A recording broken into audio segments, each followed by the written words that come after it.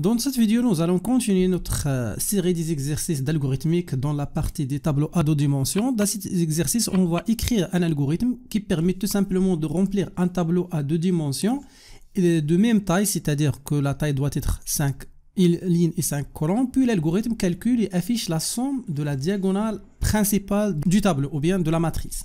Pour bien comprendre l'objectif d'exercice, alors l'utilisateur va saisir les éléments du tableau à deux dimensions ou bien de la matrice et après l'autre objectif de l'algorithme c'est de calculer la somme de diagonale de la matrice.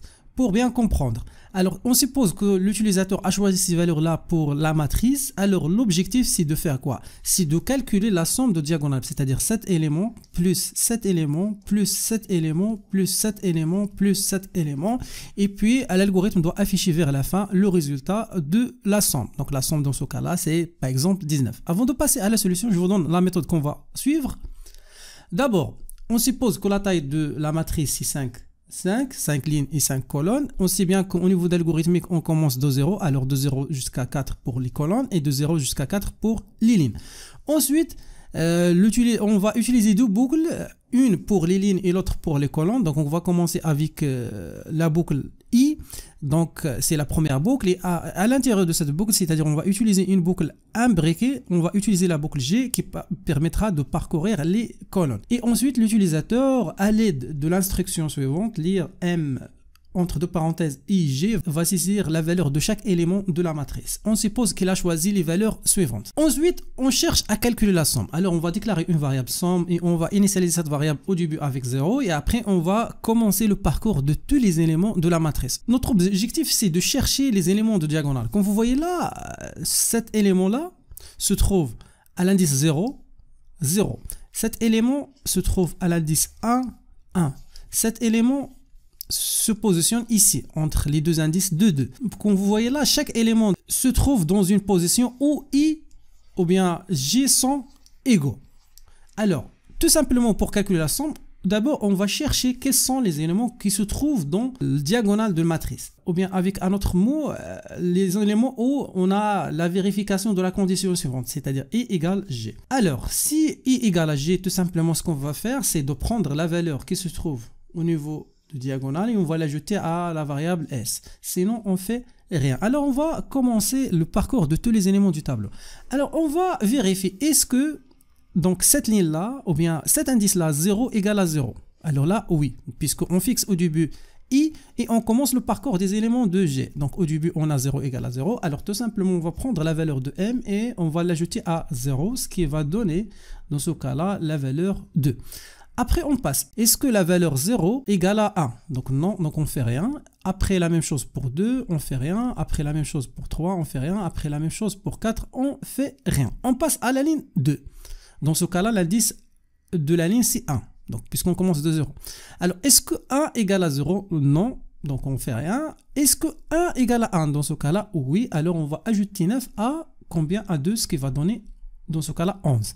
Et on fait la même chose jusqu'à la fin de tous les éléments du tableau, bien le parcours de tous les éléments du tableau. Et vers la fin, on a dans S la somme de tous les éléments qui se trouvent au niveau de diagonale de la matrice. Et se fait de faire quoi? Il se fait juste d'afficher la valeur de S. Maintenant, on passe à l'écriture d'algorithme. On va suivre la même démarche. Comme l'habitude, la première chose, c'est de commencer avec le mot algorithme et on va donner comme nom dans ce cas-là diagonale.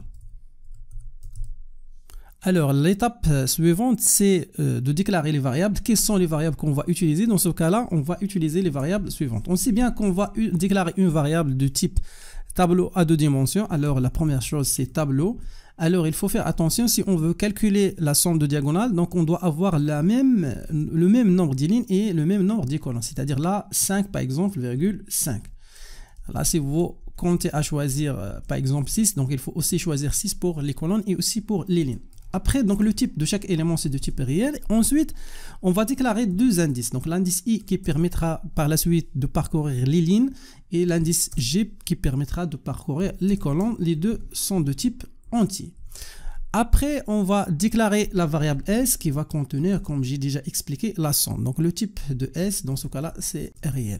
Après, on va euh, commencer avec début et, fin. Après, euh, la première chose, c'est la récupération des données. Il faut remplir le tableau. Alors pour remplir le tableau, on va utiliser deux boucles. Donc la première boucle pour les lignes, donc de 0 à, dans ce cas-là, 4, le pas c'est 1, et après on va ajouter faire, et après on va déclarer une deuxième boucle, une boucle imbriquée, donc avec l'indice G, qui va commencer aussi de 0 à, dans ce cas-là, 4, ou bien 5 moins 1, c'est 4.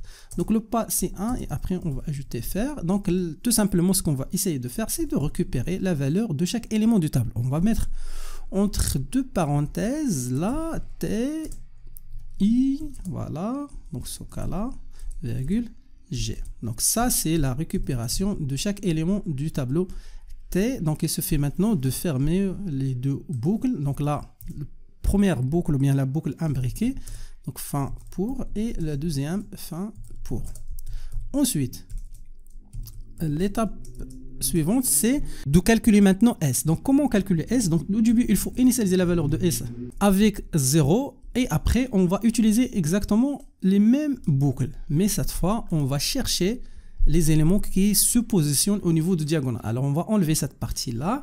Et on va dire si, donc là, donc la condition qu'on a vue tout à l'heure, I égale à G, alors on va faire quoi? On va tout simplement euh, affecter à S donc la valeur de S, l'ancienne valeur de S, plus la valeur qui se trouve au niveau de diagonale, c'est-à-dire Entre deux parenthèses et virgule G.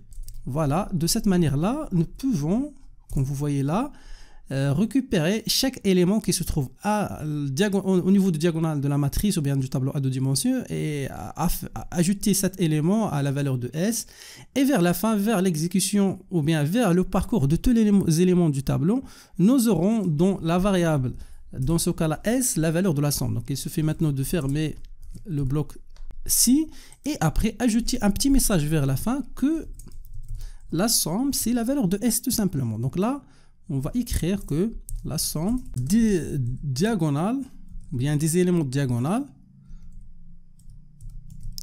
est dans ce cas-là la valeur de S. Et voilà, donc ça c'est la solution de cet exercice. L'objectif de cet exercice était d'écrire un algorithme qui permet de localiser les éléments qui se trouvent au diagonale de la matrice ou bien du tableau à deux dimensions T et après euh, calculer la somme de ces éléments-là et afficher vers la fin cette somme. Et voilà, ça c'est la fin de la vidéo numéro 56 de la partie des exercices corrigés de l'algorithmique.